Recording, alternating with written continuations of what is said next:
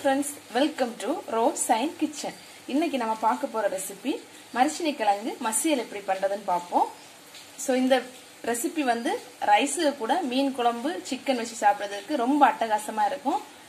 வீடியோக்குள்ள போறதுக்கு முன்னால ப்ளீஸ் ஃப்ரெண்ட்ஸ் என்னோட சேனலை சப்ஸ்கிரைப் பண்ணுங்க லைக் பண்ணுங்க ஷேர் பண்ணுங்க அண்ட் பக்கத்தில் இருக்க பெல் ஐக்கானை ப்ரெஸ் பண்ணுங்க. வாங்க வீடியோக்குள்ள போகலாம்.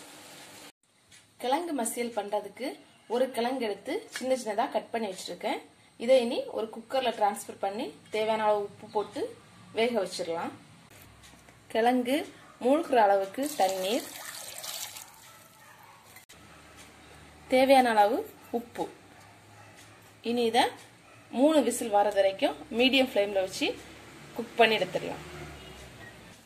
கிழங்கு மூணு விசில் வச்சு வேக வச்சு எடுத்தாச்சு. இனி இதில் நாலு பல் பூண்டு ஒரு டீஸ்பூன் சீரகம் சதைச்சது. கால் டீஸ்பூன் மஞ்சள் பொடி. கால் டீஸ்பூன் மிளகு பொடி. ரெண்டு டேபிள் ஸ்பூன் தேங்காய் துருவல். ஒரு டேபிள் ஸ்பூன் புளித்தண்ணி எல்லாத்தையும் சேர்த்து ஒரு ஸ்பூன் வச்சு இடிச்சு எடுத்துக்கலாம்.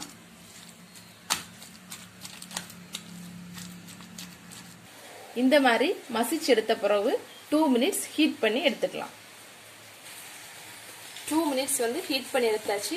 இப்போ கிழங்கு மசியல் ரெடி ஆகியாச்சு. ஃப்ரெண்ட்ஸ் உங்களுக்கு இந்த வீடியோ பிடிச்சிருந்தா என்னோட சேனல் லைக் பண்ணுங்க ஷேர் பண்ணுங்க சப்ஸ்கிரைப் பண்ணுங்க. தேங்க்ஸ் ஃபார் வாட்சிங்